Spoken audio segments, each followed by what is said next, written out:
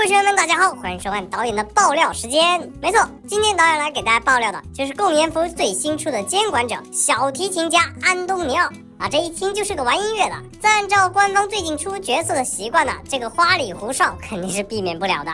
外在特质叫站立旋律，大概作用呢就是给求生者附加一层 debuff，会降低求生者的移动速度和破译治疗速度，最高呢可以叠加到三层。那么这个临接技能叫奏鸣曲，小提琴家可以向指定的位置弹出两个音符，在两个音符之间生成站立弦乐，会对求生者产生一次普通攻击的伤害，只会在产生的瞬间造成伤害，求生者后续触碰到的只会叠加魔音的状态。那么一阶技能是狂想曲，安东尼奥开启持续九秒的演奏，在这个期间内，他可以在攻击的后摇中移动，攻击不会命中场景碰撞。每次攻击会额外并发出一个站立音符，这个音符命中求生者会叠加一层魔音。一开始呢，我看到这个技能描述，我以为演奏期间可以擦刀移动，哇，那也太厉害了。然而事实证明我想多了，该擦刀的时候还是原地擦刀，空刀的时候呢才能移动。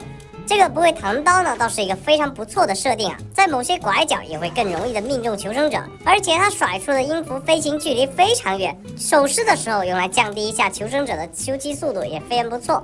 最后呢是二阶技能，这也是这个监管者最危险的一个技能——无穷动。安东尼奥可以通过拉响站立弦乐，向相反方向平行震动十道有间隔且瞬间消失的弦乐，被弦乐命中的求生者会受到一次攻击的伤害。处于间隔区域的求生者呢，不会受到伤害。这个技能的范围极大，用来手势会非常强。只要事先架好弦乐，卡血线应该是没有什么问题的。但是有一个非常重要的问题啊。这个技能的间隔也挺大的，你看这个人机就这么跑过去，毫发无损，也挺看运气吧？我觉得。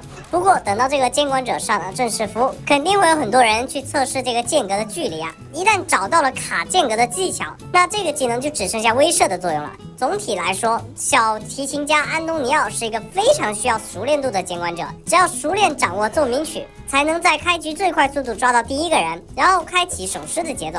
相比较安和红夫人，他算是一个比较均衡的监管者吧。玩得好，可以快速抓到第一个人。手势的时候，利用音符去干扰破音速度。有人救人可以进行防守。到了二阶，救人位稍不注意，有可能会被直接带走。但如果这个技能没掌握好，那这个监管者就只是一个单刀流屠夫，输出全靠勤工。好在他本身移速也挺快的，也不容易心态裂开。好了，本期监管者爆料就到这里。大家觉得这个拉小提琴的强度如何呢？欢迎在视频的下方一起讨论吧！溜啦溜啦！